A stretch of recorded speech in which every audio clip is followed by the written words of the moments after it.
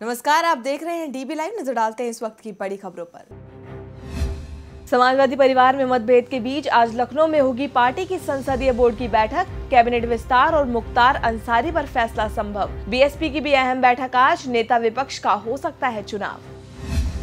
बागी नेता स्वामी प्रसाद मौर्य के बीजेपी में शामिल होने की अटकलें तेज। मौर्य और बीजेपी नेता ओम माथुर के बीच हुई मुलाकात। आज भी हो सकती है कहीं अहम बैठकें।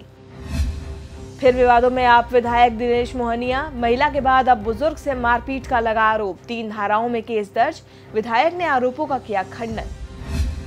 स्मार्ट सिटी की सालगिरह पर प्रधानमंत्री नरेंद्र मोदी बटन दबाकर करेंगे 20 शहरों के काम की शुरुआत। वीडियो कॉन्फ्रेंसिंग के ज़रिए जुड़ेंगे पीएम मोदी। कई नए प्रोजेक्ट का भी होगा आगाज़।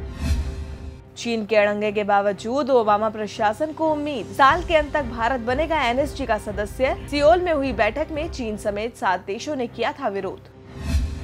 ब्रिटेन के ईयू से अलग होने पर आईएसआईएस खुश, कहा, यूरोप को कमज़ोर करने के लिए करेंगे हमले। ऑस्ट्रेलिया की बिग बैश लीग से जुड़कर हरमनप्रीत ने रचा इतिहास। विदेशी फ्रेंचाइजी से जुड़ने वाली पहली भारतीय खिलाड़ी बनी। तो ये थी इस वक्त की बड़ी खबरें देखते रहिए डीबी लाइव, क्योंकि यहाँ है खबरें लगातार।